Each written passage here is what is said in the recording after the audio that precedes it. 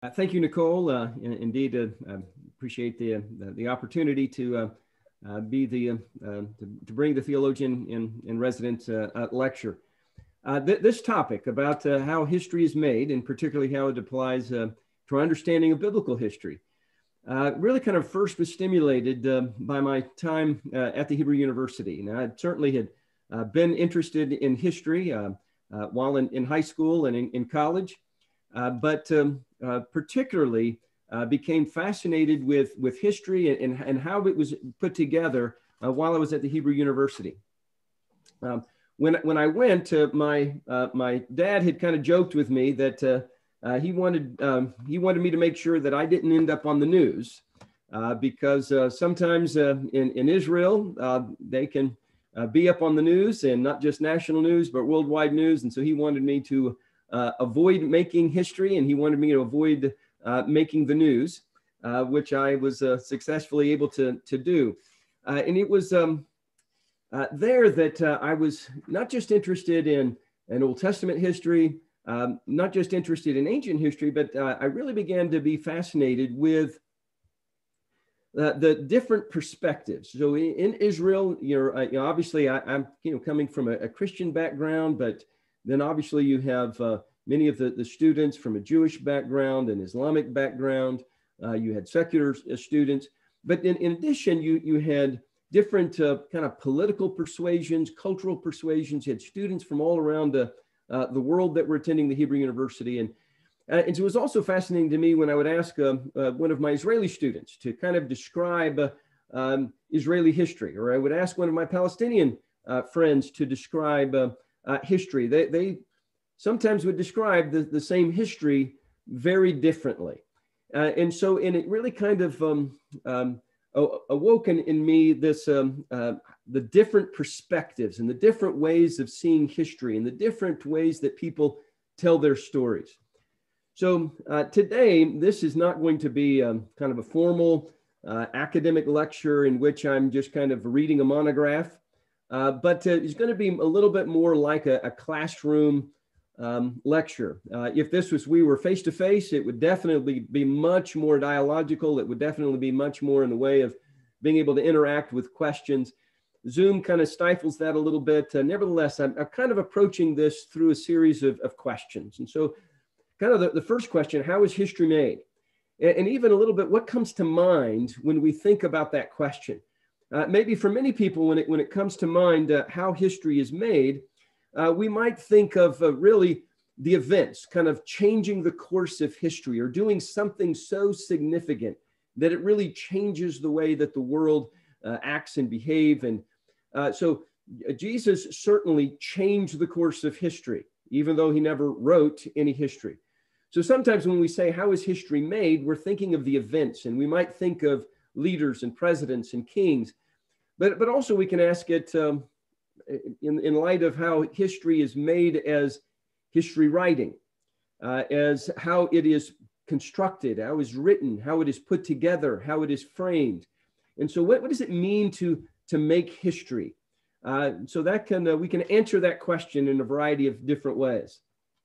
So in, in, in kind of answering that question, I'm going to add a, ask a kind of a sub question. It's, and that is how is history like a court case or, or trial? Now, fortunately, I've never been on trial. I hope to never be on trial. Uh, I did get an opportunity to uh, be called for jury duty. Uh, actually, I've been called for jury, jury duty several times. Uh, only one time was uh, selected. So, in fact, I was on one hand a little relieved I didn't get selected. On the other hand, a little kind of disappointed that I didn't get to selected. But one time I was selected, uh, and it, it, was really kind of fascinating uh, to be a part of uh, that process. And of course, we've whether you've been on a jury or hopefully you haven't been on trial, but uh, you've certainly seen lots of uh, court cases on, on, TV. And so as we think a little bit, so how is a, a court case like writing history? Well, in, in many ways, it, it, it is a lot like writing history. Uh, something happened, some kind of event happened. Um, and so we don't exactly know what happened. Uh, in fact, if we knew exactly what happened, we might not have the, the court case. Uh, but um, obviously, we need to collect some evidence about what happened. Uh, and it uh, might be witnesses, it might be eyewitness testimony. Uh, although it gets interesting when sometimes the eyewitnesses don't tell the story the same way. Uh, it might be some visual evidence if you got some some video. Uh, but even then, the video evidence sometimes doesn't tell the whole story, particularly if you don't see how it began and how it ended. It sometimes can lack uh, context. Uh, but you do have to rely on evidence. But there's some rules to evidence. Not everything is admissible. In fact, uh, one of the, the roles of the judge is to determine what is uh, admissible, what is not admissible. So if it's just a rumor or gossip, uh, it's just secondhand information, well, that maybe that didn't work. Um, but, but another thing that's important for seeing how a court case is like history, beyond just the evidence, beyond just evaluating the evidence, if it's reliable or not, but, but particularly in the American system, and I think there's wisdom in this, in that it's um, this is not just determined by the judge, it's not just determined by the prosecutor, but that there's actually in the court case two major versions of history that are told using evidence. You have the, the prosecutor is telling one story with the intention of proving that that person is guilty. The defense is trying to use evidence uh, and try it for a particular purpose to defend the, um, the client so that to try to demonstrate that they're not guilty. They have different agendas, different goals in mind, but they have to use evidence. Now, some are going to emphasize some evidence more than the others. One might want to ignore some evidence that the other wants to, to emphasize. And um, so I, I think there's actually wisdom in the American system that we, to get to the truth, we're willing to listen to more than one version of history. We're willing to listen to history being argued for, arguing for this, arguing against that, and, and allowing a jury of our peers to, um, not just the judge, but a jury of our peers to evaluate that. And who do we believe? And what, what do we not believe? Who put it together um, to make a compelling story beyond a reasonable doubt? And so we, we, we're not confident that just allowing the prosecutor to tell the story will tell the whole story. We're not confident that just allowing the defense to tell the whole story will tell the whole story. And so there really is this tension that almost to get to um, my more accurate history, to get more to the, the past event, we actually need to hear multiple perspectives, not just one perspective. Now, a little bit of uh, trivia uh, if you're in Israel, uh, the prosecutor is the Hasatan, the prosecutor is the Satan, because the prosecutor is your accuser, and the prosecutor is trying to get you uh, convicted. So I, I, don't know how that works on an Israeli resume when you're the Satan, uh, but you've got in a court case two different perspectives trying to come to the truth. Um, now, we can ask another related question How is a news report like making history?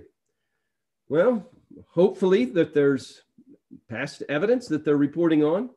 Uh, hopefully, they're gathering evidence. Hopefully, they've gotten some eyewitness testimony.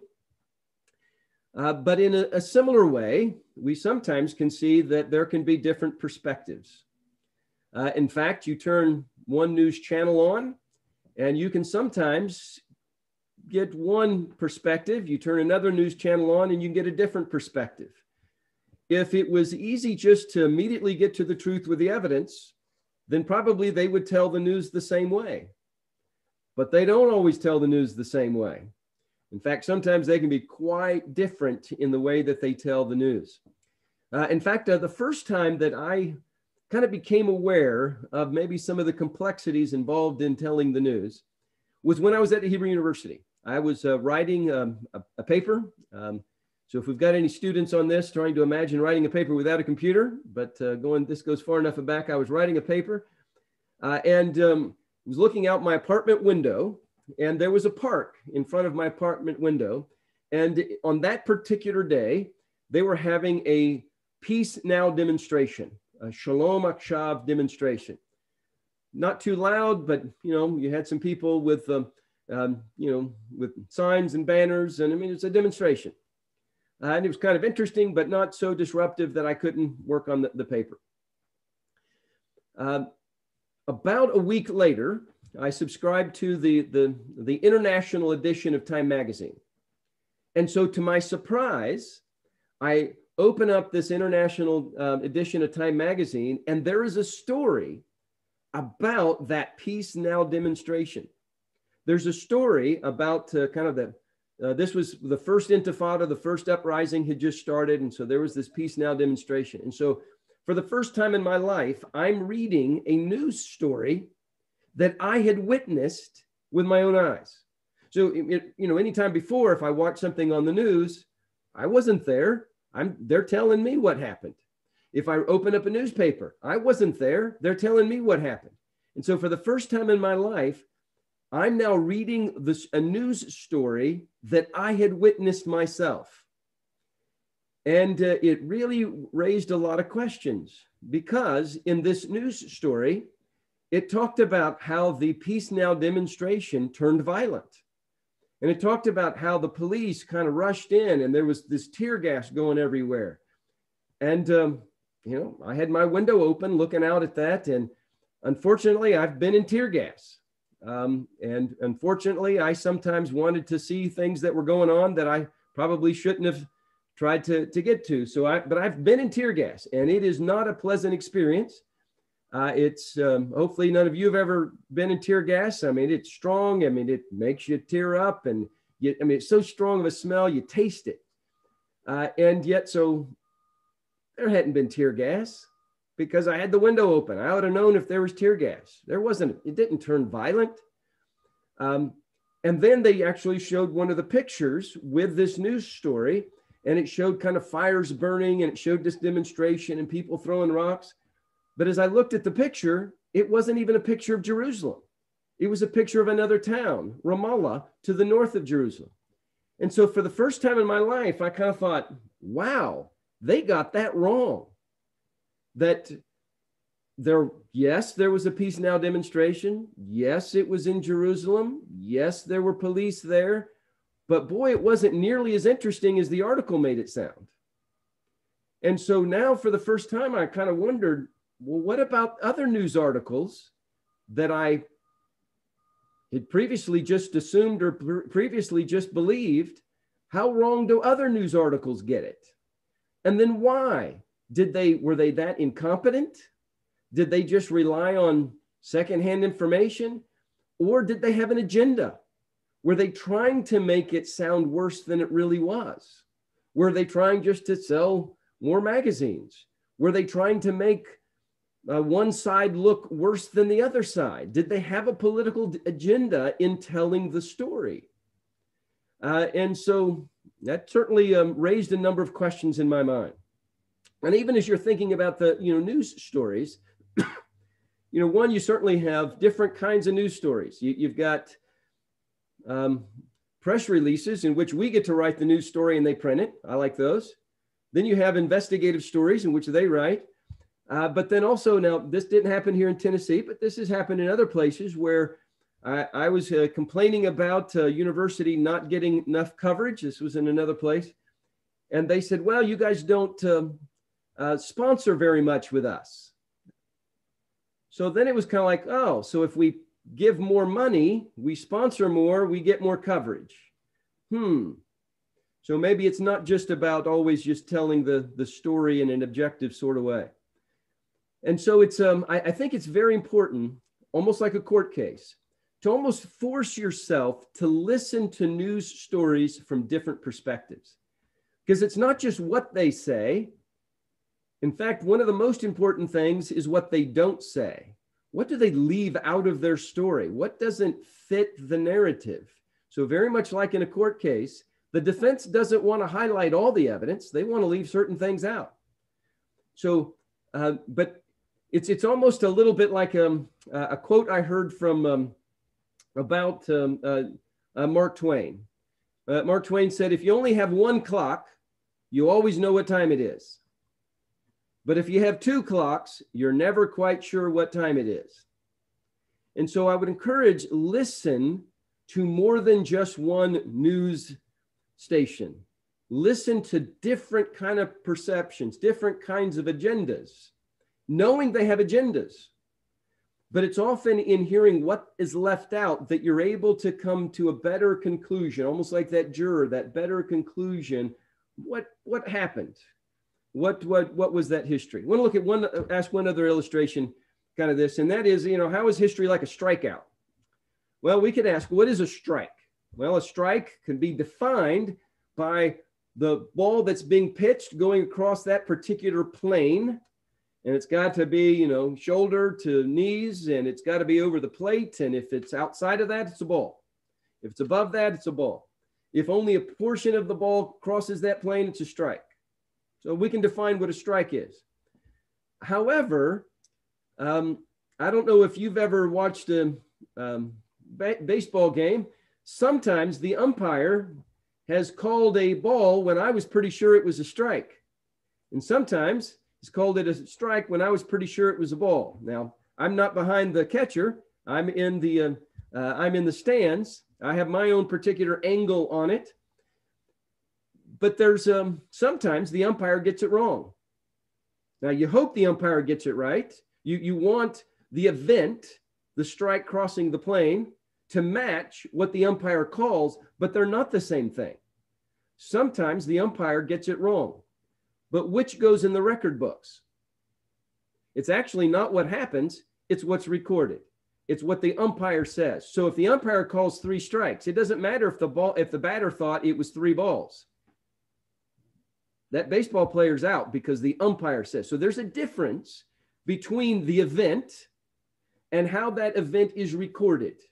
There's a difference between how history is made the event and how history is recorded. Now, you hope the ideal is that they match as closely as possible. You hope in a court case, in fact, it would be a travesty of justice if the jury came to a conclusion that was contrary to what actually happened, whether that was making somebody, declaring somebody guilty that was actually innocent, or vice versa. So as we look at this, we're, we're going to spend some time thinking about historiography uh, and how it's put together so that that uh, better prepares us for when we begin looking at biblical historiography. So we've already kind of gotten at this a little bit, but there's history as an event, and uh, German has actually two separate words, and I think makes it easier for us um, than English with kind of the one word. But but history is an event. I'm not going to read through all of these, but it, it is. Um, um, the actual event that occurred in the past. The problem is, is the past is gone and we have moved on. The only way to get back to that is by records, by sources. But um, many times that's incomplete. We don't always have that information. Uh, and sometimes that can be very distorted. In fact, I want to give you um, um, kind of an illustration about memory, because often we rely upon our memory to get us back to that event. Now, memory is a record, it's not the event. But uh, we usually assume that our memory is an accurate representation of that event, but not always. Uh, I was watching, this was several years ago, I was watching a um, kind of a, not really a documentary, but I was watching a program that was talking about memory. Uh, and it was talking about how memory grows not necessarily always fades. And actually, this person is giving this lecture in, at a large university in a big lecture hall, and you see the, this, uh, the professor behind the, the lectern. In the middle of her lecture about memory, somebody walks across the, the platform, grabs her purse, and runs off the other side. Now, this is all, I'm, I'm watching this, okay, because it's all been recorded. And so I'm watching this. And so she's lecturing, her lecture's interrupted as this person goes across the, the platform, picks up her purse, and walks out. She then says, Okay, all right, we need to call campus security, but we have this room full of people. Let's first get a description of who this person is. And so she starts off and she describes him. Okay, I remember him. He's probably about six feet tall and he had a beard and he was wearing uh, red tennis shoes. And she describes him. And then she says, okay, what else do you remember about this person? And so some different people kind of chime in on some other things to give a description because you have all these witnesses about this person who just walked across stage, just walked in front of everybody and stole her purse. And so I'm when watching this and I'm thinking, okay, you know, it was kind of quick. Um, I wasn't really intending, you know, I was kind of caught by surprise as this person went across and grabbed her purse, but I was thinking in my mind, okay, what did this person look like? And I remembered the beard and I he yeah, I kind of remember him, you know, about six feet tall. I remember his red tennis shoes. Uh, and then uh, after we kind of all had agreed upon the description of this person who had stolen her purse, she brings the person back over, brings the person back out, because of course it had all been planned. And a person didn't have a beard, and a person wasn't wearing red tennis shoes. But I remembered the person with a beard and red tennis shoes. And it really kind of irked me that I remembered it wrong. But then she went on to explain because she was the first one to describe him. And you kind of believe what she said. And because you could visualize, because I could visualize him with a beard, she implanted that. Because I could visualize him with red tennis shoes, that kind of implanted it. And I then confused my visualization of what she said with my memory. And she demonstrated pretty accurately that sometimes memory can be distorted, that sometimes memory can be skewed, sometimes memory can be can grow in time. Uh, and then uh, I've also learned, um, being around universities for a long time, that most people seem to remember things in a way that um, elevates their role but diminishes their responsibility. So usually when I ask if there's a disciplinary issue, a student disciplinary issue, and I ask a number of witnesses what happened, usually their responsibilities diminished in their telling, but maybe their role, if it's good, is increased. So history is an event, but it's not always easy to get back to that event. Uh, in fact, sometimes when we have incomplete information, our minds try to make patterns. They try to make sense of what we see but they don't always do it right. I mean, you know, as simple as when you look at clouds and you see an elephant in the clouds. Well, obviously it's not an elephant, but your mind wants to see patterns. Your mind wants to see things. And that works with history as well as you begin to put to pieces together, begin to connect the dots, but not always accurately. So the history is an event, but then you also history as the account.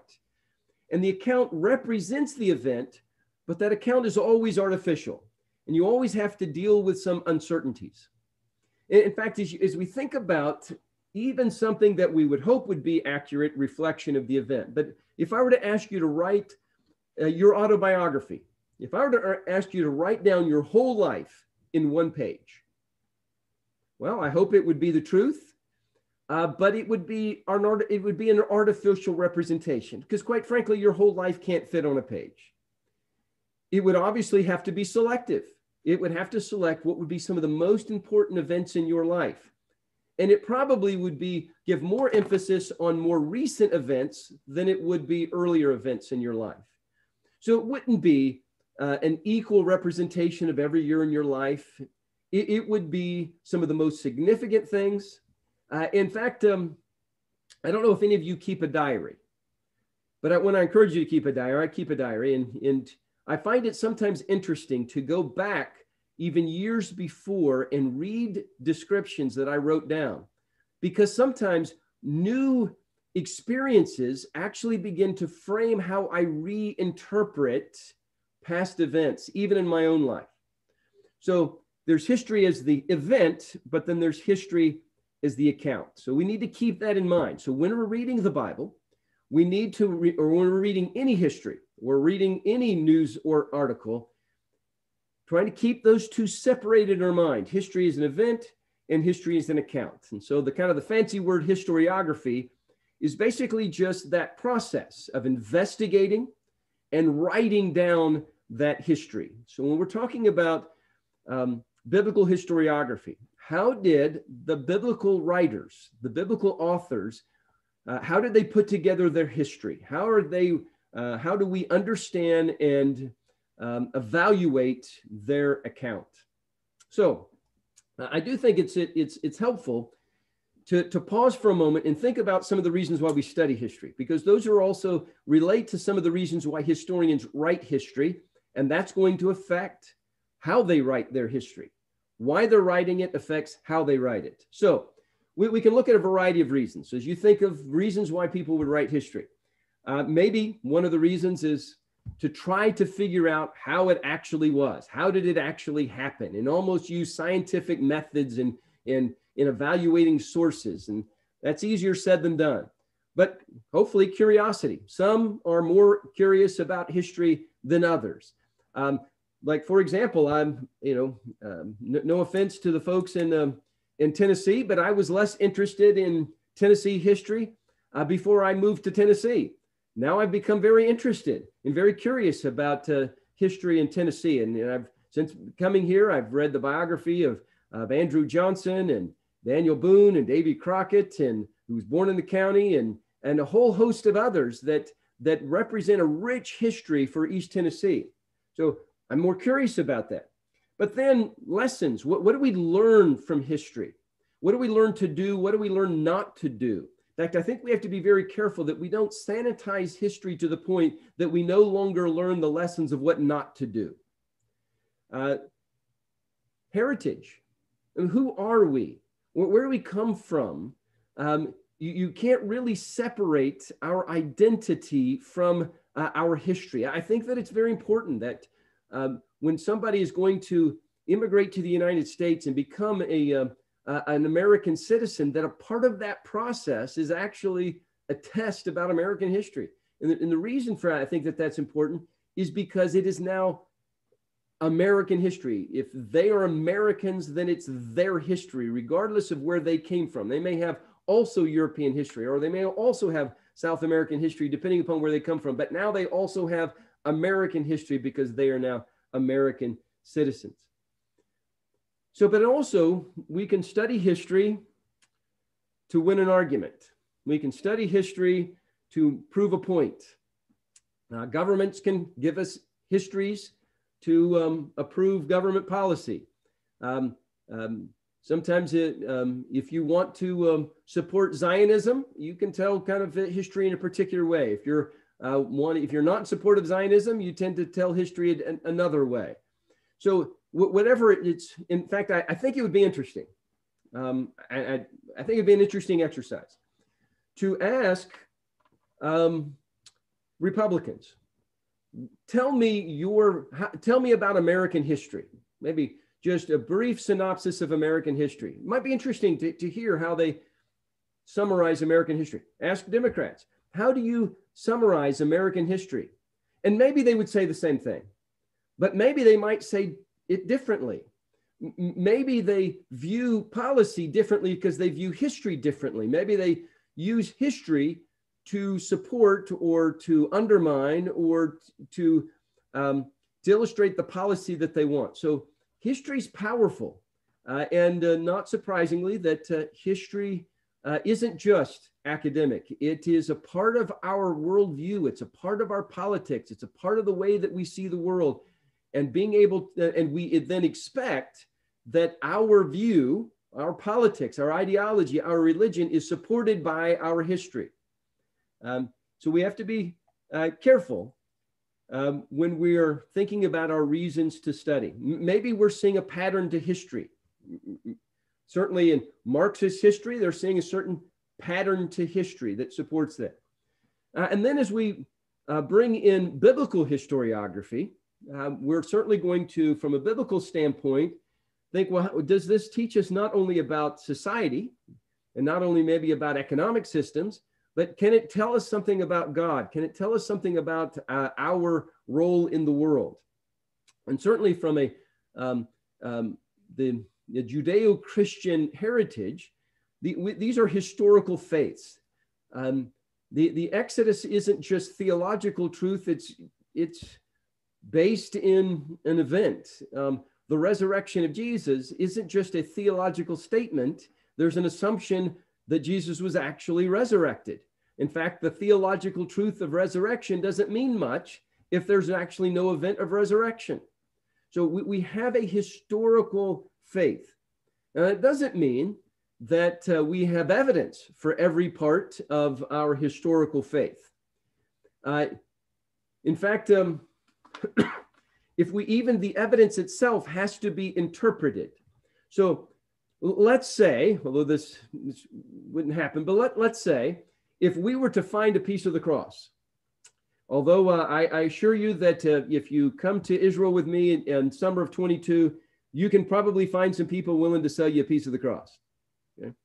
Uh, in fact, um, I, probably tons of pieces of wood have been sold as pieces of the cross. No, wonder Jesus was having a hard time carrying it uh, down the Via Dolorosa. Now, I'm a little suspicious that not all those pieces are actually pieces of the cross, but let's say we found a piece of the cross.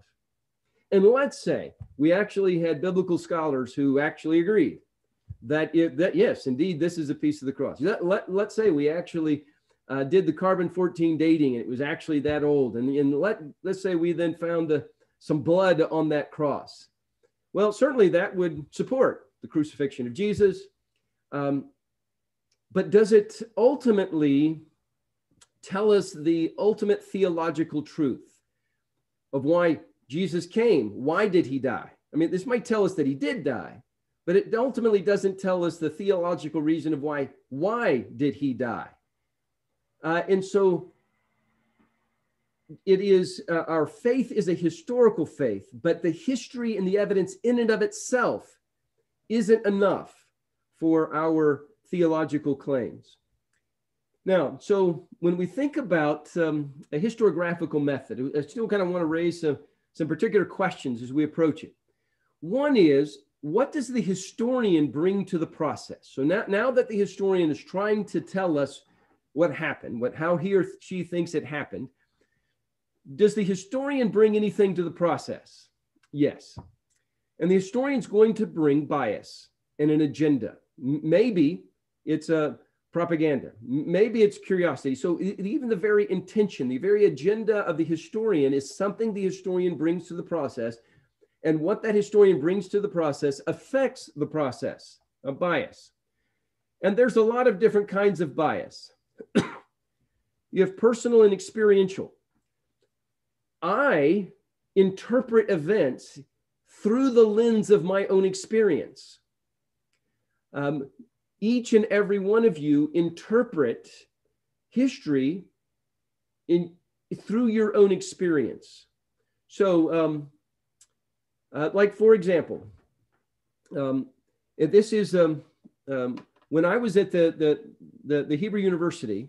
Um, my um, my money that was uh, was my check for being able to stay at the Hebrew University uh, was supposed to arrive. I had to get there, and then when I get there, the check was there. Well, the check didn't show up. And so um, uh, for a long time. And uh, in the meantime, I ran out of money. And in the meantime, I, I, I, ran out of money and I was basically down to some pita bread and water. And, um, um, and so fortunately, after about uh, a couple of weeks of just pita bread and water, the check finally came. But during that time, I, I my experience taught me something because I'd never been hungry before. I had never wondered where the next meal was coming from before. Uh, but as a result, and, and also I, I, had never before needed something from somebody else. And so, you know, when I kind of, you'd go to somebody and say, well, can you help me with this? Or can you give me a little money to buy food? And all of a sudden everybody's, uh, um, everybody was suspicious, almost like I was trying to get something over on them. Um, that experience affects the way that I see other people in need. Now, because they're kind of a, a, cognitive part of my brain or even a religious part of my brain that says I should be sensitive to other people in need. But my experience further affected um, other people in need because I can reflect upon my experience. You, you, see this actually a lot in the Old Testament. Numerous times in the Old Testament, um, the, the Bible tells Israel to have a particular attitude and it reminds them, you were once slaves in Egypt. In fact, it should affect the way that you treat the foreigner among you because you were once slaves in Egypt. Their experience, their national experience affected the way that they saw themselves and affected the way that they treated others. So our personal experience is going to bring a bias. Uh, our ideological, political, religious perspectives are going to bring a bias. Now, bias is not inherently bad, but we do need to know that we have a bias. I'm bringing to this uh, a whole series of, of biases. All events ultimately are interpreted. What, what, what, does that mean with this event, this data? Because history isn't just a record of facts. It's not just a record. It's not just a, a census record isn't a history. You, you have to take that data and begin to form it into a story, form it into a, a history. And you then begin to try to interpret what does this mean? What is the significance? Um, but there, there is that, that bias. Uh, I, I have found that normally people find what they're looking for. That if you are uh, looking to support a political agenda, you'll find it in history. If you're looking to convict somebody, you'll find the evidence to convict them. If you're uh, you, you, people usually find what they're looking for. In fact, um, you'll see this in a lot of research studies. One of the first things I do when I look at a research study is who funded it. Uh, because um, if it's being funded, it usually it usually affects the results. Not always, and there's a lot of protections, but uh, you people usually find what they're looking for, and it takes great maturity to then realize that you were wrong um, now, there's also, I want to talk just a tad bit about a confirmation bias and the way that that works and the way that it affects the way that we view history, the way that we view news events. Uh, all of us have a particular view, uh, and we are going to filter new evidence through our, uh, our assumptions and our bias.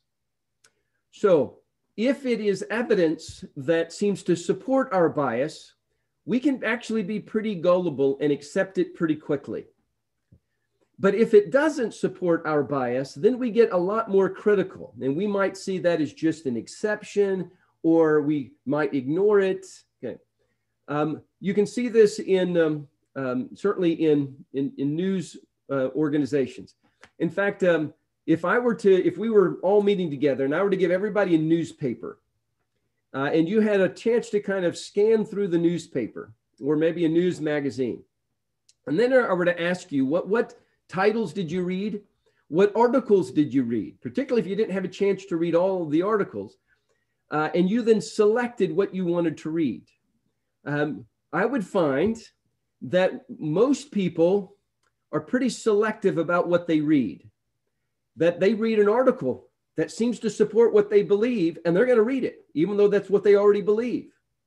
And if they read an article, and it's like, ooh, that's not what I believe. Ooh, that's another political party. Ooh, that's another perspective. We tend to actually ignore it or explain it away.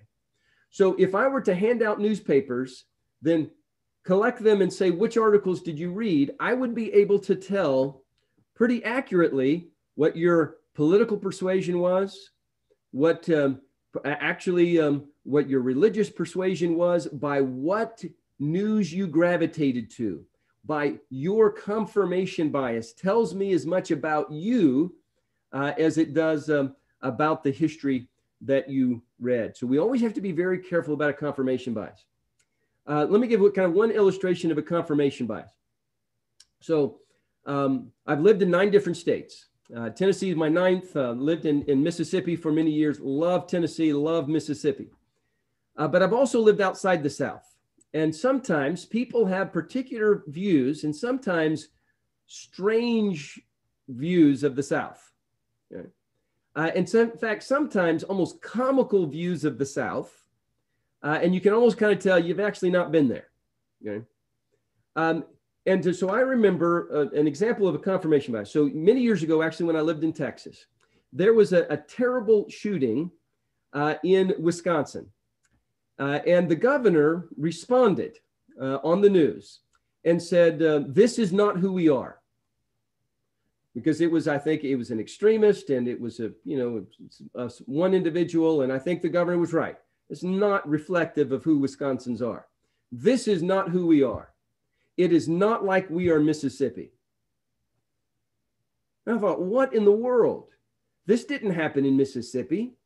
But you then kind of, uh, almost with your confirmation bias, you excused that this isn't who we are, but now threw it on somebody else. Uh, and so um, sometimes, if people have particular views of the South, they're very quick to ex- uncritically absorb information that confirms their bias. Or if they see information that doesn't seem to fit their bias, they then it will ignore that or find ways to explain it away. So the historian brings bias, and the better we can figure out what that bias is, the better we can analyze it. Now, sometimes that bias is unconscious. In fact, the most insidious biases are the ones that we're not even aware of. But a part of that bias as well is a worldview. We have particular ways in which we think the world works. Uh, and so, particularly when we begin looking at biblical historiography, we're going to see that there's a particular kind of worldview. Well, how, do, how does cause and effect work? What, what, are, what, what, what are causative effects? Does God play a role? Um, are the, is it possible for, for miracles? Did Jesus multiply the loaves? Is that that's a miracle? Well, that requires a particular view of the world. And if somebody doesn't believe that that's even possible or that that can, uh, um, then that is, uh, is going to affect it the way that they view that. Well, we can look at a, a variety of causal factors. Uh, whether it's race or economics or technology. These are all causal factors. As we look at our cultural perspective, so having lived in the Middle East, there's a certain cultural perspective, there's a Western perspective, there's an Eastern perspective, and these things affect the way we view the world, the way that we affect, uh, affect the way we view reality. And if we view a reality in a particular way, it's certainly going to affect the way that we write our history because we expect to write our history in the way that we expect reality to be also our place in history very much affects. So um, when, when I have um, sometimes read stories about or books about the historical Jesus as they try to determine what how Jesus actually was, unfiltered through the Bible. What I almost always find is that uh, even without looking at the the date that it was written, I can usually tell was this um, was this scholar a European scholar? Was this scholar uh, 18th century, 16th century, when, whenever, because um, their place in history affects the way that they view and write history. So there's a lot that the historian brings to the process, and we need to use critical thinking uh, when wherever we're hearing uh, history. So, how does the historian investigate the event? Okay, so we've already talked about uh, the event and the record of that. So, obviously, what sources are used? Uh, and so and I think that's just always an important question to ask. When a news reporter says something, when a historian says something, how do they know? Just because they say it, how do they know?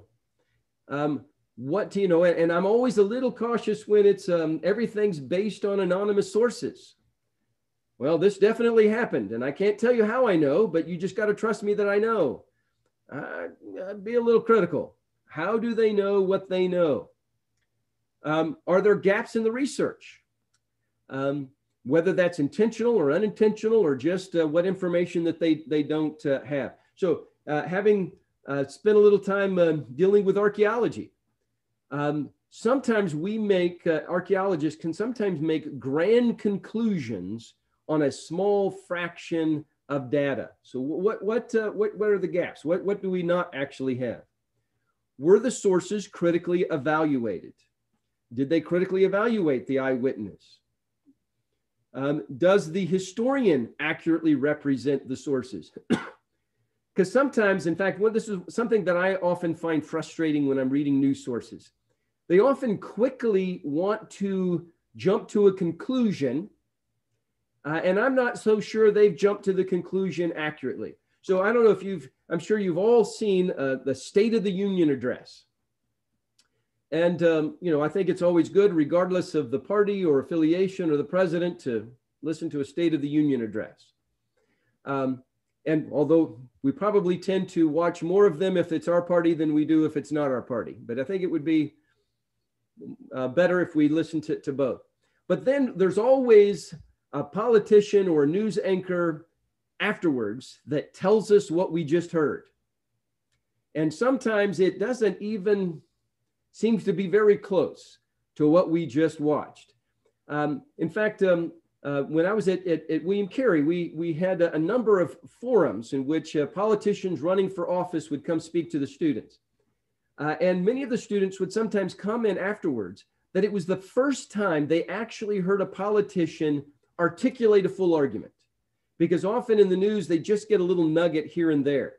Um, in fact, it was interesting to see, um, you know, to hear the whole argument from different politicians and then to hear what was what little nuggets were chosen. And you then when you're there you're kind of like wow that really wasn't the way to portray it. That really was a very skewed way to portray it. So does the historian accurately represent the sources? So what does the historian uh, did the historian investigate the event? How well they do? And how has the historian framed the event through the selection of the topic because it's not just what the historian says or doesn't say it's where the historian begins the story. And where does the historian end the story? How is it framed is critically important. So, um, for example, if maybe we were to hear um, uh, a news story about, let's say, um, um, um the Israelis uh, uh, bombing um, Gaza City. Well, that is an that's an event and a record of that event. But listen to where that story is framed. Is that story framed as a response? Or is that story framed as the initiation? So, who's responding to who? Who is retaliating to whom? So, uh, how that context is given, how it's framed is very, very important for how we ultimately interpret that particular event because these events don't stand on their own. They're in a broader context. And so how is that framed? Um, and this is where i've kind of already alluded to this and this is sometimes you can only see it in comparison and contrast. So if you only watch one news program you're not necessarily going to know what's been omitted You'll know what's included, but you may not know what's omitted. If you watch two news programs, now all of a sudden you see, man, they didn't even tell this story. This is a big story on this news channel, but it's not even talked about on this other news channel. In fact, sometimes the narrative is what you don't talk about because if you talk about it, it might undermine your narrative. So you also then see one news organization might frame the exact same event very differently than another news organization frames that event.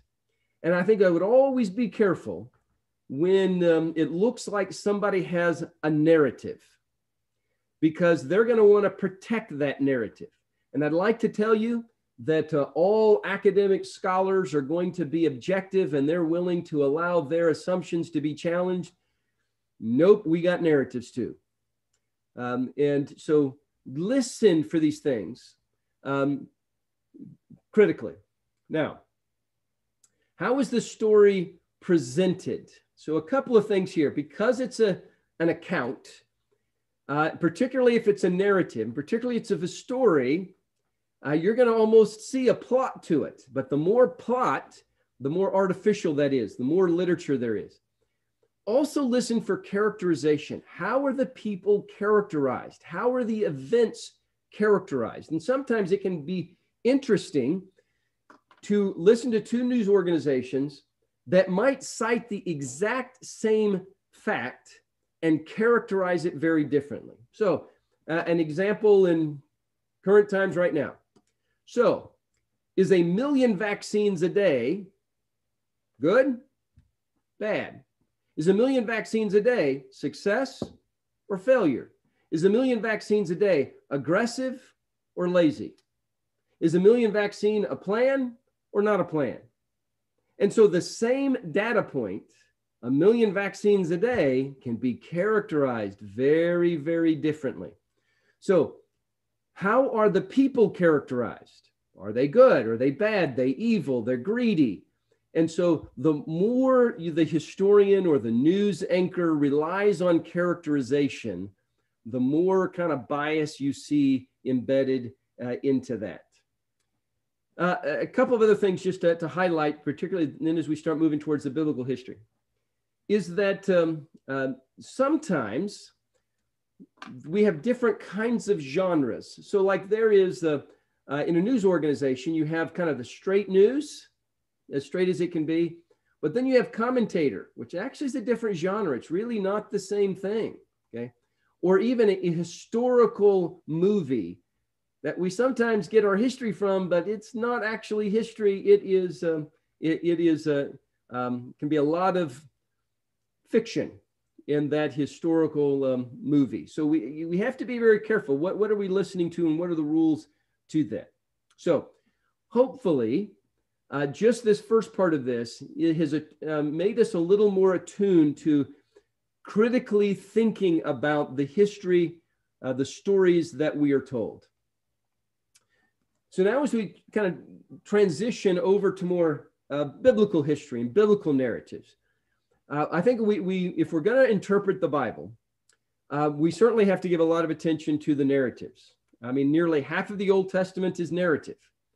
So the better we understand the narratives and how they're put together and all the things that we've talked about, the better that we can understand it. It certainly is a major form of revelation uh, that God uh, chose uh, narrative to be one of the main ways that he communicates uh, his truth. Now, has certainly communicated truth through wisdom, has communicated truth through law, has communicated truth for, through a variety of genres, including uh, poetry and song. But stories and his involvement in stories uh, and these events very much are a major form of of revelation. As we've already mentioned, that we have a historical faith that we, we learn about God through our experiences and through the past. So it's important that we that we study this uh, if we're going to understand the Bible. It's also, I think, very important is when we read these historical narratives, because this happened thousands of years ago in a very different cultural context and at a very different time uh, that if reading the Bible doesn't feel like a cross cultural experience, then you're probably not reading it well. If it feels just natural, then probably not um, understanding it well. It because reading the Bible is a cross cultural experience. We're, we're, we're coming from a Western perspective, but we're reading primarily an Eastern document. We're coming from a modern perspective, but we're reading an ancient document. Now, God has still revealed himself through that, but we need to be aware of, um, um, of what we bring to it as readers and what they brought to it from their experience, their culture, and their time. Now, I think there's certainly a number of advantages when we're looking at trying to understand and interpret the Bible when we're looking at historical narratives. One, it's interesting. It, it pulls us into the action. We're able to identify. Maybe we're able to identify with the, uh, the Israelites. We're able to identify with those coming out of Egypt. Uh, maybe we're able to identify with David. Probably not many of us identify with Goliath, but uh, we're able to identify with different uh, characters there.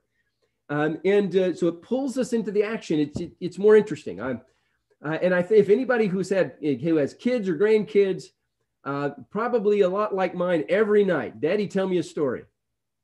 Daddy, tell me a story. And I, I bet there are a lot of folks because we crave stories.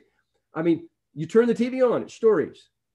I mean, you, you go to the library, it's, it's stories. We are our minds crave stories and putting those things together. So it, it, pulls us into the action. It makes the Bible so much more interesting. It, it also uh, depicts real life. And in fact, in a moment, we're going to see some contrast between biblical history and, and ancient Near Eastern history. One of the things that uh, I think we sometimes don't fully appreciate is um, uh, how realistic the Bible is. I mean, we might almost more expect it to be uh, to make David always look ideal, to make Solomon always look ideal, to make Abraham always look ideal. And yet the Bible tells us that they made some pretty terrible mistakes. Doesn't always give us ideal descriptions. we also begin to, the more we kind of give some time and attention to the biblical history, the more we realize that these are some pretty tough decisions. And there's some real complexities to life and to the characters. And so it, um, it, it communicates an advantage because it depicts real life. It's also easier to remember. We're able to remember a lot of details when we put it in a story. It's a lot harder to remember just random information. So, an example of this, I think, helps to demonstrate that it's easier to remember. So, if I were to ask you, and probably many of you have read through all of the Old Testament, read through all the Bible, if I were to ask you to describe to me the content of Habakkuk, or to describe to me the content of Isaiah, or describe for me the content of, um, let's say, Joel. You might remember some key passages, you might remember some messages, you might remember a sermon you heard about that, but it's actually not that easy to kind of, wow, Isaiah in its 66 chapters kind of tells it this way. It's not easy. But if I were to ask you to tell me the story of Jonah, well, now all of a sudden it's really easy to tell me what the prophet Jonah is about because it's in the form of a story as opposed to a form of a, a series of sermons or a series of, uh, uh, of information. So they're much easier to remember. Uh, in fact, this is one of the reasons why we're, we're, while there has been and we've been facing a pretty strong cultural shift, because for generations, for centuries, the primary narrative that people heard were biblical narratives, the main stories that people heard. Growing up, their parents read them biblical stories. Um, you had people going to church and they heard biblical stories. I mean, uh, our big religious festivals, our big religious events are around stories. Easter is around a story, Christmas is around a story uh, and they're a part of our narrative and they communicate our values and they communicate all this. But now, in this generation of students, this generation of young people, where do they get their stories? Primarily from Hollywood. And so the values that are communicated through the stories can be very different. Uh, and so, uh, in some sense, um, Christianity has lost the narrative. Uh, it no longer is the primary source of narrative and stories that this generation hears. Now, um, we're also able to, through the biblical historical narratives, God reveals his involvement and his character, uh, his keeping of his promises, his expectations of values. Um, we, we, uh, we get insight into who God is through uh, the historical narratives. But there are also some disadvantages. Uh, sometimes the meaning can be subtle and ambiguous. So we read the story, and it's an interesting story, but what does it mean? What? Uh, because we, if we're not careful, we can overread uh, the story. Uh, in fact, uh, sometimes you can we can allegorize it. I, I was reading a an old commentary uh, about the tabernacle, and they were talking about trying to give historical meaning to the tents, to the pegs, and and it was quite frankly ridiculous. Uh, essentially, the tents to the pegs for the tabernacle, or tents to the pegs to the tabernacle that kept it from blowing away.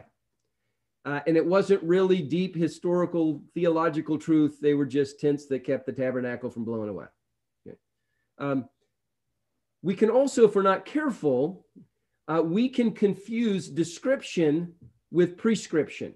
So, for example, if we look into uh, the story of Jacob and the story of the patriarchs, as we read about Jacob and the patriarchs, uh, we hope that that's not all prescriptive. Because, quite frankly, Jacob is a jerk. Jacob is a swindler. Jacob is a liar. Uh, Jacob takes advantage of his brother. Um, Jacob shows favoritism. Um, Jacob marries more than one wife. Jacob does a whole bunch of things that are not prescriptive for us, um, but it's descriptive. It, it this is descriptive of some behavior that is not being prescribed. It is prescriptive of some behavior that's actually wrong, prescriptive of behavior that actually is what we should not do. We see some terrible favoritism and the way that it tears their family apart. The patriarchs are not the best examples or the prescriptive examples for family values, the way that they hate each other and they sell their brother into slavery. And they're just terrible things that they do. And so we have to be able to distinguish. A story in the Bible doesn't necessarily tell us what we're supposed to do, but sometimes it does. And this is where we really have to interpret what is prescriptive and what is descriptive here. And so there are some great advantages to it, but we have to be careful in how we read the narratives that we're not overreading them or underreading them. Uh, it also kind of where does the story begin and end? We have a lot of little episodes, but where the story begin and ends kind of can very much um, affect the way that we interpret this. So, like for example, are the stories of Rahab and the stories of Achan when Joshua is coming into the promised land and you're coming into the conquest, are those two separate stories? Or are they really two parts of the same story?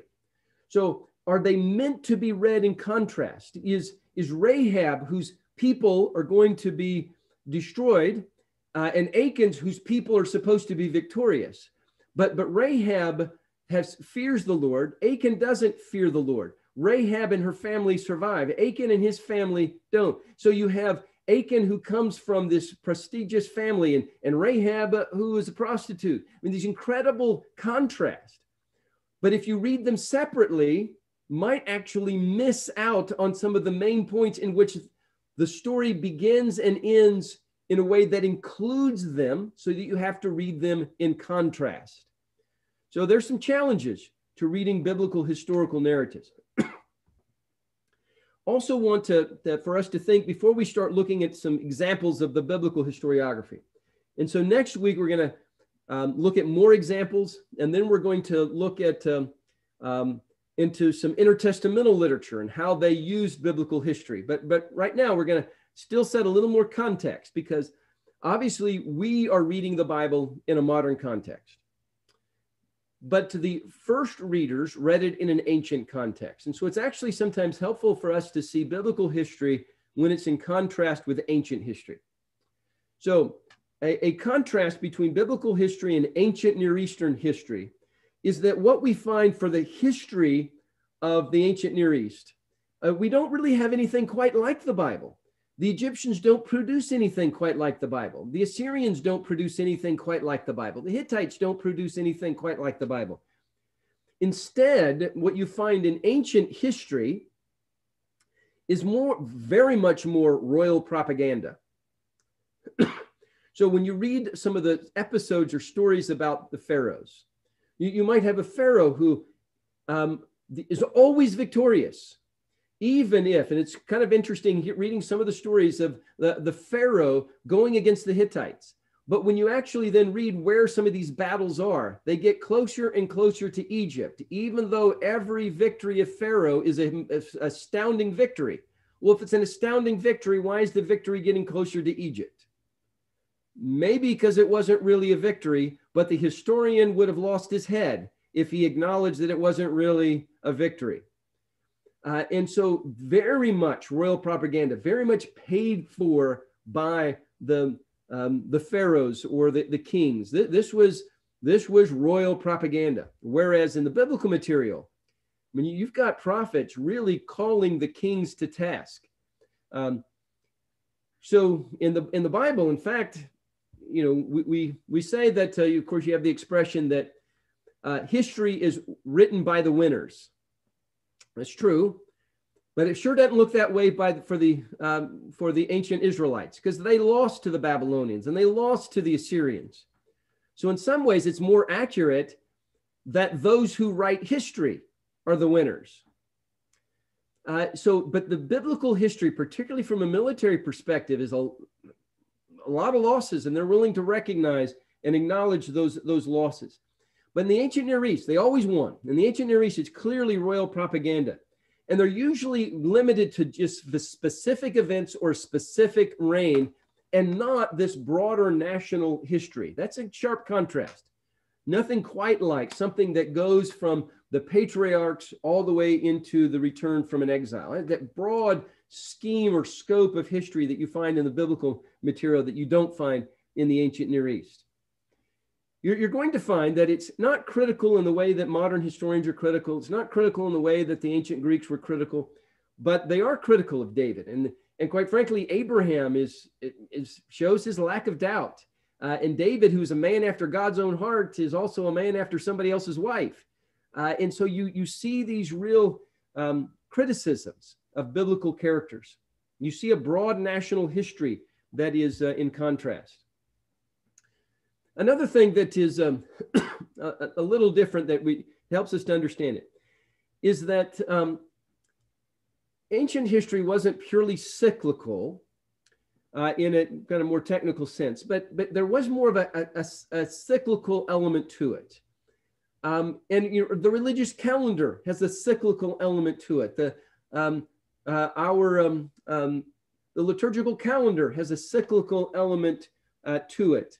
Um, the, the judges in the in the in the book of Judges, it has a cyclical element to it. The festivals have a cyclical element to it. The seasons have a cyclical element to it. Uh, that nothing new under the sun. It's really more of a a modern concept of, of progress, that things are getting uh, better. But part of that sense of progress, that sense of going somewhere, actually is derived from kind of the biblical material, where you have a, a promise and fulfillment, where you have an end times, where you have uh, the, the sense of history going somewhere. Uh, so the biblical material is cyclical, but it also has some linear elements to it. Now, clearly, in both the ancient and in the biblical, you've got divine involvement. That uh, in the ancient, you're going to see that earthly battles were very much described as representing cosmic battles that Assyria destroying Babylon was not just a, uh, the Assyrian military destroying the Babylonian military, it was the Assyrian gods defeating the Babylonian gods. So it was very much described in, in cosmic ways. When we look at um, uh, many of the oldest stories about the ancient world, they're often mythologies, not really histories, uh, often stories about the gods uh, than they are about um, uh, the people here uh, on earth. Now, we're going to see that clearly they saw their gods as involved, and you see that in the biblical material. Uh, but you also see in the biblical material, God's not just involved, God is Lord of history, not just a participant uh, in history. Uh, I want to just look uh, just briefly at the, the, the Mesha Stele as an example of a kind of ancient Near Eastern history. One, it fits on the stele. So it's not like the whole book of First and Second Kings, uh, but it fits on a stele. So very kind of episodic, very much related to a particular uh, king. But it also gives us some insight in the way that they viewed the world, the way that they viewed divine involvement. And so this is a part of the text. Thank you. Part of the text of um, the Mesha stele.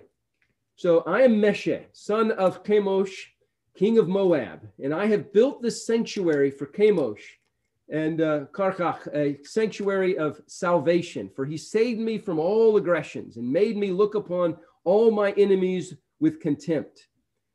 Omri, king of Israel. So it's actually one of the few times that we get to hear about a historical event from both sides. We get to hear it from the Moabite side and from the Israelite side. And, and um, Omri, king of Israel, and he oppressed Moab during many days. And Chemosh was angry with his aggressions, and his son succeeded him. And he also said, And I will oppress Moab. Now Omri took the land of Madaba and occupied it in his day, and in the days of his son, 40 years. And Chemosh had mercy on it in my time. And I assaulted the wall and captured it and killed all the warriors of the city for the well pleasing of Chemosh and Moab. And I removed it from all the spoil and offered it before Chemosh uh, and Kiryat. And Chemosh said to me, Go, take Nebo against Israel. And I went in the night and fought against it from the break of day till noon. And I took it and I killed all 7,000 men. But I did not kill the women and maidens, for I devoted them to Ashtar Chemosh. And I took from it the vessels of Jehovah and offered them before Chemosh. And Chemosh drove him out before me. So even as we're reading this Moabite history, one, it's very episodic. Two, you very much see Chemosh's role uh, in this. And uh, if we were to go on with this, we would actually see that part of the reason uh, is not just that Omri defeated them earlier, uh, but that they had upset uh, Chemosh. So uh, as you're reading this, you're kind of seeing that there actually are some similarities, but also some differences between the ancient, the way that the ancient biblical historians wrote it, and the ancient Near Eastern historians wrote their history.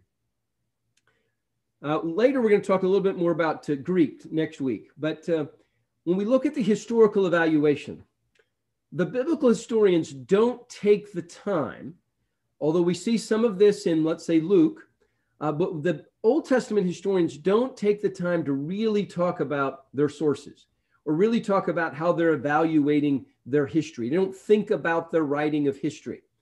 The Greeks are really the first ones that start speculating about writing history. They're by no means the first to start telling their stories, um, but they are the first ones to really start thinking about the process and really start thinking about what sources they should use and not use. They're, to really start thinking about divine causation and trying to keep it more attached to um, natural uh, causation. But the Greeks also talk about other purposes for rhetorical purposes. So, as they're trying to win a vote in the assembly, they use history for that rhetorical purpose or just simply entertainment.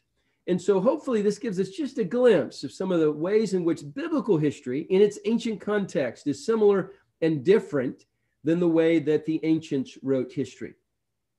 Now, and now I want us to um, um, look at some basic characteristics of biblical historiography and then some examples. uh, and then I'll, um, in a, in a, uh, I want to leave about 15 minutes for some, some questions and answers at, at the end. But uh, so next week's going to be much more in the way of looking at some of these examples. So clearly, some of the basic characteristics of biblical historiography is that it's theological. Um, and of course, in a, in a modern, from a modern historian perspective, uh, they would uh, not see God playing a role at, at all. But from a biblical uh, historian perspective, obviously that's one of the core characteristics and the core aspects are really God's involvement in history. God is the Lord of history. That God is not just uh, a God of many gods, but God is the God and uh, is Lord of history. Um, that God is Lord of history and being able to project where it's going to go, uh, prophesying that it's going to be uh, fulfilled, but that also that God's justice governs and affects the way that history is going to work out. It's not just about uh, the strategy of David. It's, it's not just about uh, the, the strength of Samson. It, it is, it's also about God's justice. And so when Israel disobeys, um, they're going to be punished. And not just uh, because they lost economically or they lost militarily, but because of God's justice. So kind of almost overriding this kind of theological paradigm is this sense of divine retribution. You're going to see this in the wisdom literature, you're going to see this in the Psalms, you're going to see this really kind of throughout the historical narratives is this sense that God blesses historically, God blesses those who obey him, and God punishes those who disobey him. And then you're able to then use that to interpret events. So if Israel is being what looks like punished, well, why? Well, they must have done something wrong. If Israel's being blessed, well, then why? Well, they must have been obedient. And so it's not just a cause and effect that if you obey, you'll be blessed, but also then if you look at somebody's condition, a, a condition of blessing, does that mean that they are obedient? Or a condition of punishment, does that mean that they have been disobedient? But then the Bible takes a much more nuance than just that simple formulation. In fact, the whole book of Mo, uh, the whole book of Job is wrestling with that. Well, Job is blameless, not sinless, but blameless, and yet his condition doesn't seem to match the cause. We know the effect, but what was the cause? Was it really that he was worse than his friends? Was it really his sin that led to this? Uh, and so the Bible very much wrestles with this overall framework to history, divine retribution uh, but then also really um, um, explores and deals with uh, how that's fleshed out in, in, real life. So let's take a look at some examples of um, kind of the divine element of, of this. One of these is going to be Elijah at Mount Carmel. So in, in 1 Kings uh, uh, chapter 18, um, just kind of the, the brief overall story, we have 400 prophets, uh, 450 prophets of Baal, 400 prophets of Asherah, uh, and you have the one prophet uh, of Elijah. Uh, and there's this whole contest there at Mount Carmel. Um, and so, and it, and it, it really boils down to uh, a question in Elijah's mind that's really not even a question in the prophets of Baal and Asherah. For Elijah, Elijah says, How long will you waver between two opinions? If the Lord is God, follow him. But if Baal is God, follow him. But the people said nothing. Now, for Elijah, this, may, this, is, this, this question makes sense. God or Baal, or really we're going to see through the contest that Baal exists and uh, God exists and Baal does not. Because God is the Lord of history, you can't really have both. For for uh, Elijah, you had to choose God or not. You had to choose to accept him or not, uh, because there is only one God. You can't serve both God and mammon. You can't serve both God and Baal. Whereas from the perspective of Baal, why not? Why can't you do both? In fact, from a perspective of the prophets of Baal, in fact, most Israelites even, why can't we do both? Why can't we worship Baal? Why can't we worship Asherah? Why can't we worship Asher? Why can't we worship Ra? Why can't we worship Ammon? Why can't we worship Kamosh and God? We'll give God his due, but why not give him his due among all the others? And so part of this story is to demonstrate that God is the only God and God is the Lord of history. And does it in a fascinating episode here. now, the rules of this contest are essentially choose one of the bulls and prepare it first. Since there are so many of you, call on the name of your God, but do not light the fire. So essentially, all right, prophets of Baal, I'm going to let you go first. There's a whole bunch of you, there's one of me.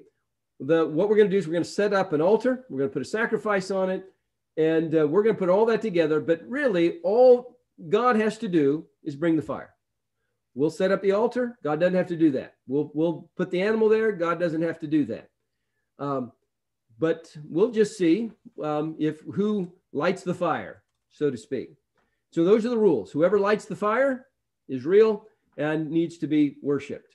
And from Elijah's standpoint, you got one choice, one or the other. Now, interestingly, this whole episode is set up, but you got to have to know the context. You kind of have to know the history to fully appreciate it. Uh, some you were able to just pick up immediately. One, it's a little unfair for Elijah that they get to go first. So, kind of like at a football game, you usually want to receive the ball first, but they get to go first. And they get all day long. They get all day long for Baal to light the match. Uh, the location, Mount Carmel, to a modern reader, that may not mean anything. But in the ancient world and in ancient Baalism, Mount Carmel was a high place. It was a Bamot. Uh, and Mount Carmel was not just any place, it was a place that where Baal was worshipped. Uh, it was a place where um, the storm god was worshipped. So, in some sense, it's home field advantage for uh, the prophets of Baal. The nature of the contest fire from the sky. If Baal is the god of the storm, if Baal is able to bring thunder and lightning, then certainly this is what he should be best at. Mean, you wouldn't necessarily expect um, the god of the storm to move a mountain, but you certainly could think that a god of the storm could bring a lightning bolt. So it's the very type of thing that Baal, if anything that he's good at, this would should be what he's good at. Well, the number of prophets, 450, or really we can say uh, 850 to one. Can you imagine playing a football game in which you got one player on one side and you got 20 on the other side? It's an unfair contest. The condition of the sacrifice that they give all day to chant and cut themselves and appeal to, to Baal. But then Elijah makes it even harder for himself. He drenches his sacrifice, he drenches his altar with water three times, so much so builds a trench around it, and that water flows up, uh, flows over and fills up the trench. So this should be as easy as possible for Baal and as difficult as possible for God. Uh, and yet, the point that Elijah is making that only God is real. And so ultimately, it's unfair for the prophets of, of Baal because there might be a bunch of the prophets, but there is no Baal. So it doesn't matter that they think he is in the image of a storm god. Well, he isn't. It, it doesn't matter that this is the home field advantage. Um, it's not really where he lives. And so the point of this, in a sense, story, the point of the episode was so that these people will know that you, O Lord, are God, and that you are turning their hearts back again. So I, I highlight this is an example for a couple of reasons. One, uh, you see in this particular story an emphasis upon God is the Lord. Uh, we see that his power, we see his intervention, but then there also is a theological and moral um, purpose to this story so that you will know that God is Lord and so that you will respond to that historical truth or that this episode by turning your heart back to him. And the very question that was asked to the begin, beginning, choose Baal or choose God? Well, choose God because he's only and turn your heart back to him. So that was obviously a message, not just to the folks of, of, of Baal, but the hearts of Israel to turn their hearts back. So in that story, we see some interesting characteristics about biblical uh, historiography. Another story, just a couple of uh, uh chapters later. This is a story about King Ahab, uh, of who is about to go into battle against the Arameans. and so he um, uh, calls together the king of Israel, Jehoshaphat, and as, before they go into battle. Jehoshaphat says, Should we inquire of the Lord? Uh, should we uh, ask uh, if we should go into battle? Uh, so, part of the worldview is that this war isn't just about kings and military and generals, uh, but is it God's will? And so they inquire of the Lord and they bring out 400 prophets of Baal. There, boy, there are lots of prophets of Baal. Uh, but Jehoshaphat well, not just prophets, but is what about is there a prophet of the Lord? And so the prophet Micaiah. Now, Ahab, the king of Israel, doesn't like him at all. In fact, he says, I, I, find it almost a little humorous. Ahab says, I hate him because he never prophesies anything good about me, but always bad. So, you know, almost sometimes like the news media, always say something good or always say something bad, and the king doesn't like it. The king wants the prophet to support. Um, and so um, now there's another prophet, and you got um, a false prophet, Zedekiah, and basically says, Yeah, this is God's will, and yes, God's going to bring us great victory. But Micaiah um, actually gives a, initially a sarcastic uh, response, but then says, No, he prophesies, Ahab and your army is going to be defeated. And in spite of Ahab taking precautions, uh, in fact, not dressing like the king uh, and actually trying to hide that he's out there. Um, but we see that Micaiah prophesies how this is going to end, and it ends that way. So, uh, in the biblical history, from the his, biblical historian's perspective, God isn't just helping out God isn't just providing strength. God isn't just stronger than the God of the Arameans, but that God is able to determine who wins and who loses. Um, now, that doesn't mean that they don't still fight the battle. Uh, in fact, uh, you, as uh, Joshua is going into the promised land, they prepare their, their, uh, their supplies. They send spies into the land. They, you hear about their strategy. You hear about all these things they do. So there's a, a very important role that the people play and yet at the end of taking Jericho, we see that God receives the credit. So there is this in the biblical material, this assumption that people have an important role. Nobody just sits back and prays for God's angels to, to do this. So you see this expectation that people play a role, humans play a role, human causation, and yet God plays a role in this as well. And God is able to secure and is able to determine in prophecy and fulfillment what's going to, to happen. And so there is an assumption by the biblical historian about God's role in history. Um, we have just um, a little bit of time before we um, um before we move to a time of question and answer, but I want to at least introduce this part, uh, and this is, uh, and we're going to talk later next week. We're going to talk about kind of a two different versions of Old Testament history. And this, um, and part of the version comes out of the book of Deuteronomy. And then we're going to see that a later historian writes the story in light of what is written in the book of Deuteronomy. In fact, in Deuteronomy 17, it tells us what the Israelites should look for when they get into the promised land. In fact, uh, Deuteronomy 17, when you enter the land the Lord your God has given you, you've taken possession of it and you've settled in it, and you say, Let us set a king over us, like all the nations around us. Be sure to appoint over you the king of the Lord your God chooses.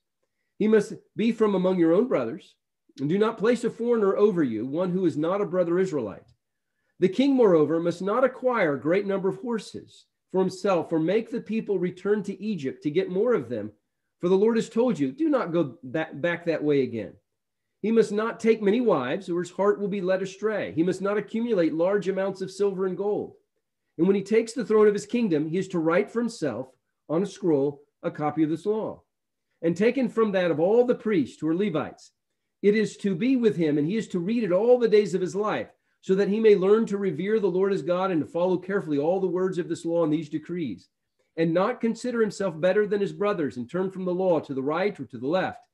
Then he, is in this, then he and his descendants will reign a long time over the kingdom of Israel. so, here in the book of Deuteronomy, we have uh, an important teaching about what kind of king they should have.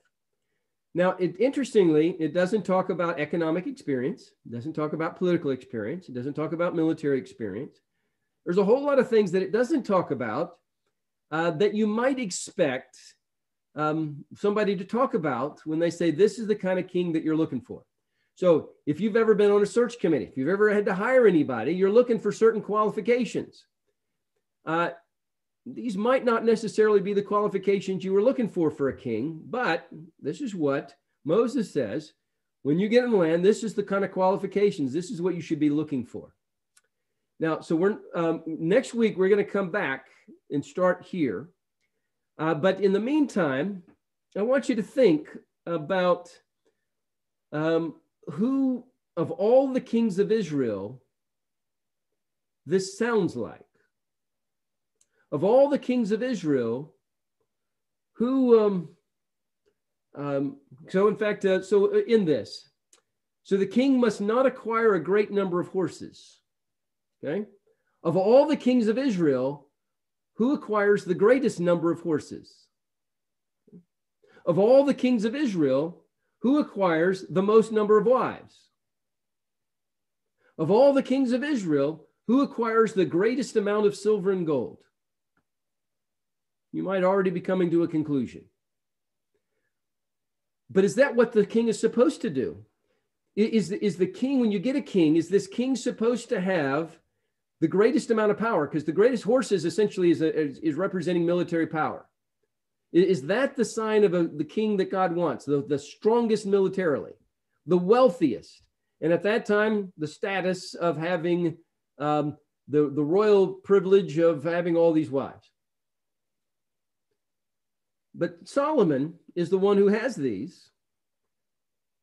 And normally we kind of might even think, well, that's a good thing. Is that that's blessing? Military power is blessing. Wealth is blessing. I'm still not so sure having lots of wives is a blessing. I'm very happy with the one wife I have. And I think it's a, but, and yet now all of a sudden it's given us a paradigm. It's given us a filter to interpret the reign of Solomon. In fact, if we read the story of Solomon without reading this paradigm, we might misread it. We might miss the point that the author is actually trying to communicate in the narrative. So next week we're going to come back and we're going to start with Solomon and we're going to see how does Solomon compare to this paradigm?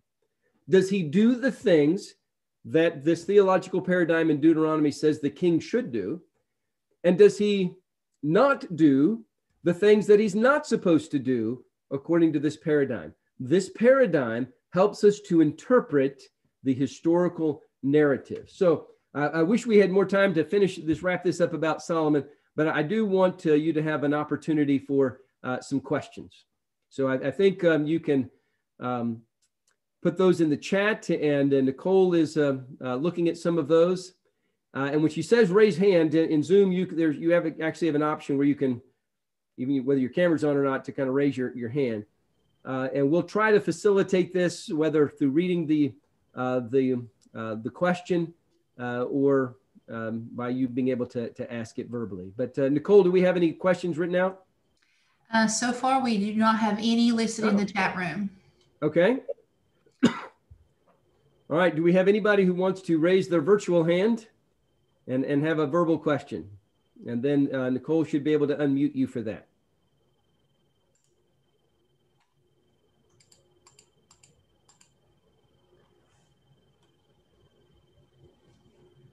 Well, I assure you, if we were doing this face to face, we'd have a lot more questions.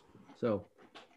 Well, I tell you what we'll do is I'll go ahead and I will start uh, talking about Solomon here. Uh, but uh, Nicole, uh, feel free to let me know if we have some questions that come in, and then we'll go ahead and, and address those. But in light of no questions, we'll, we'll, we'll kind of move on. So we have this theological paradigm that's going to help us to interpret the story of Solomon. Dr. Hummel? Yes. I have a question. We got a question. All right. Yes. Uh, Miss Melanie Narkowitz is asking How do you tell when you read historical things? Um, so, how do I tell when I read historical things? Um, so, um, if I understand the, the, the question uh, right, so part of it is going to be asking some of those questions that I asked at the very beginning. Okay. So, how does the historian know what the historian says? So if the historian's just telling us a story, uh, then that makes me wonder is this historical? another thing that can sometimes help me know if this story is historical is the more stories you have coming at it from different directions, uh, or let's say um, uh, from an archaeologi- archaeological perspective. Um, do, is there some physical evidence that um, provides some evidence that these stories happened? Um, was there an ancient Jericho? Uh, was there an ancient Jerusalem? Uh, was there an ancient temple? Now, we're going to find out pretty quickly that sometimes it gets complicated and sometimes it's harder to find that evidence than, than we think. But sometimes we can know if something's historical or historically accurate. When we begin to ask those critical questions about sources and we begin to see if it's confirmed. Now, that may not tell us 100% that it's accurate, but at least uh, asking those questions uh, help to put us in a better position to know whether this is myth, whether this is gossip.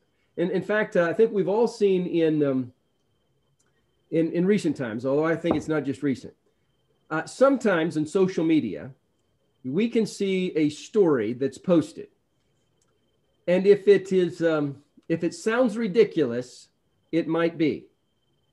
Or if you have a negative view about another group or another political party, and it just feeds in just perfectly what you already thought about them. Hmm, that may or may not be true. And so if it looks like it's feeding right into your confirmation bias, we need to at least ask some questions. Is that right? How do they know that? Is that uh, uh, is that um, is that reasonable? Um, so sometimes people on social media embarrass themselves when they too quickly uh, accept a story or too quickly accept a narrative without asking some good critical questions? So that's actually a very good question.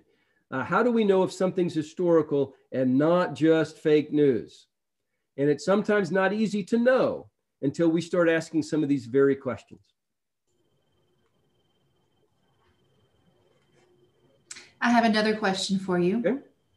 When you come across something that you think isn't correct, what do you do? Okay.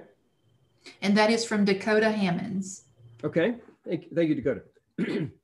so um, I'm more likely to find out uh, something that, uh, now, now read the question again, something that I think is wrong or? The question reads When you come across something that you think isn't correct, mm-hmm. what do you do? Right. Um, so uh, now, if we're at a, um, um, if, if, we're at a, um, a movie and it's a kind of a historical movie, then I really annoy my wife uh, because uh, I then let her know all of the things that I think are wrong with that uh, that that history. Um, so maybe not do that, uh, but so if I if I think it's wrong, uh, then I you know one why do I think it's wrong? Now, do I think it's wrong just because I want it to be wrong? Do I think it's wrong because it's not fitting my narrative? Okay, so uh, so I need to ask because it might be right, and it might be right even though I want it to be wrong. Okay, and so sometimes that's going to be the, uh, even kind of denominationally you know, sometimes we have a particular denomination and we read a passage of scripture and it doesn't seem to quite fit nice and neatly. Okay. Uh, and so we sometimes ignore it or we don't preach it. In fact, if we're not careful, we can preach certain books and not other books. We can preach certain passages, but not other passages. And that's a clever way of sometimes ignoring that. But, but I, I would say that um, really, when we come across something that we think is wrong, we need to filter through it is this be my confirmation bias? Because we might need to be just as critical about something that I think is right that is supporting my confirmation bias. So there, but there, there also needs to be some humility. How do they know what they know? But how do I know what, what I know? Um, and so, um, in, in, fact, it is um, in science, when facts don't fit a theory, when evidence doesn't fit a theory, that's actually a good thing. That's an indication that we need to start looking more at our theory. Um, so uh, sometimes um, when we run across something that we think is wrong, um, upon further investigation, we might define that it's right. Or uh, upon further investigation, we're even more confirmed that it is wrong. Now, then there's an, another thing here, and this is um, sometimes, let's say, related to the biblical material. Okay. Uh, sometimes we are um, uh, looking at the biblical material in a different way. And sometimes the biblical material, in fact, we're going to look at some examples that the Bible, when it's telling stories, sometimes uses poetry and sometimes describes events in poetic ways. And, and maybe in a literal way, it's not right but in a poetic way, it is. And so let me give kind of an example. So uh, of kind of sometimes poetic language that we would be wrong technically, but poetically it's right. So um, so let's say if um, walking along the, the beach with my wife and I say, oh, the, um, the, the, the, your eyes are as beautiful as the sunset. Okay. Uh, and it, my wife, uh, being a science teacher, could respond and say, You're wrong. Scientifically, the sun doesn't set. Sun doesn't set. Sun doesn't go around the, the earth. It just looks the way that it, like it goes around it. Uh, but my statement that your eyes look like they're as beautiful as the setting sun was not a scientific statement. I was not trying to make a, a case about uh, um, gravitational pull and a, about uh, the movement of objects in space.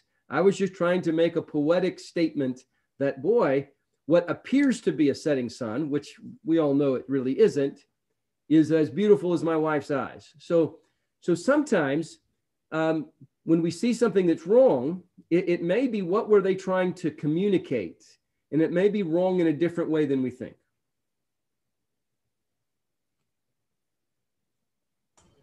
Dr. Hummel, I have a question from Sarah Van Dusen. Mm-hmm. Her question is In your opinion, is the writing of the Bible inspired and historically accurate?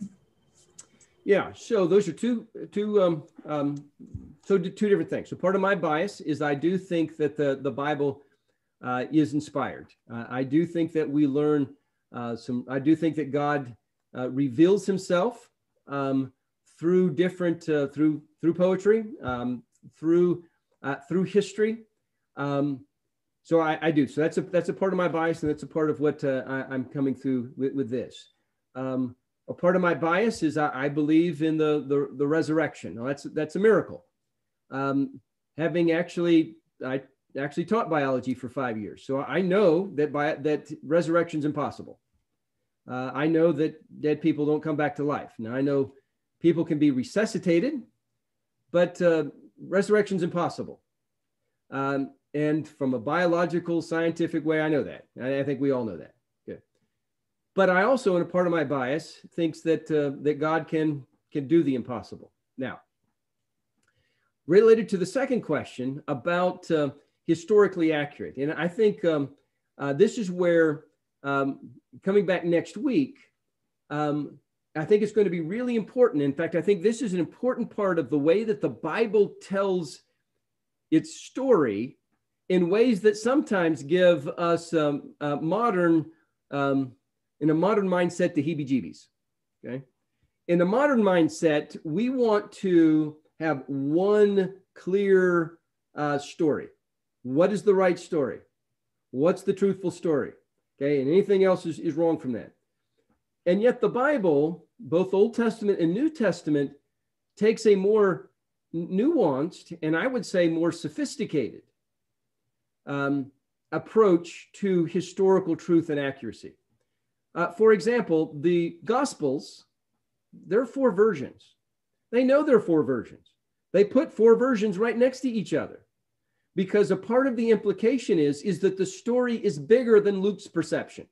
The story is bigger than uh, Matthew's perception, that the story is bigger than any one way of telling it. And so I, I think that all four are inspired, and yet I think they're all four inspired together. And because they're actually side by side, they raise some questions that we wouldn't have seen otherwise. And so the, the biblical material is, is able to see things in tension and different versions of the same story right next to each other and still see them as truth. We're going to see, next, particularly next week, that there are two major versions of Old Testament history. And I think wisely, the New Testament resisted the temptation to uh, merge them all into one story.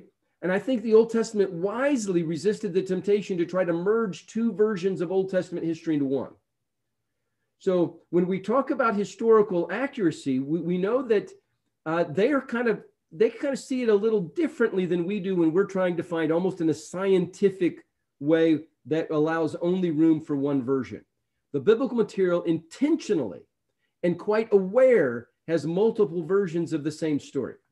Let me give a, an example that's not a historical example, but is an example of the way that the Bible allows two things right next to each other that, if read literally, would be a contradiction.